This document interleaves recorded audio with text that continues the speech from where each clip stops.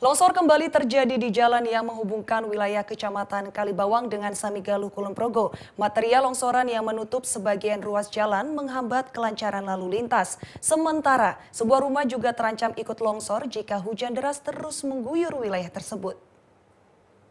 Dengan peralatan seadanya, warga gotong royong membersihkan material longsor yang menutup jalan. Aksi warga dilakukan untuk kembali mengembalikan arus lalu lintas jalan persandian yang sempat terhambat akibat longsor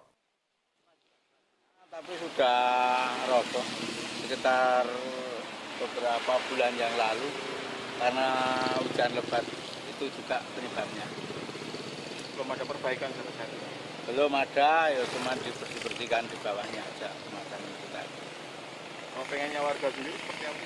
Oh, pengennya ya setidak-tidaknya segera dikerjakan, diperbaiki, bangkit sampai atas hanya itu terserah nanti dari pemerintah atau pihak yang berwenang dari PU atau dari BPBD.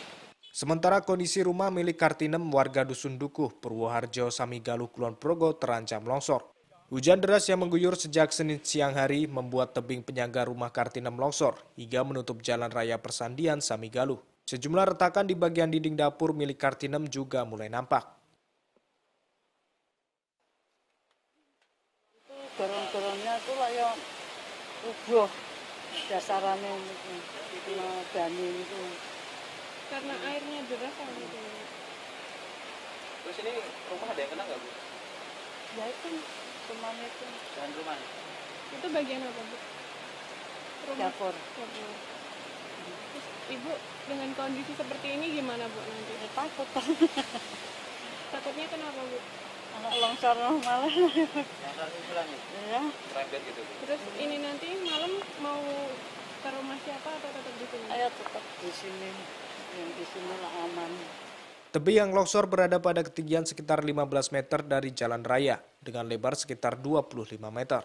Warga akhirnya menutup bagian pinggir atas tebing menggunakan terpal guna mengurangi air merembes ke tanah yang bisa menyebabkan longsor susulan di lokasi yang sama. Prasetyo Wati melaporkan untuk NET.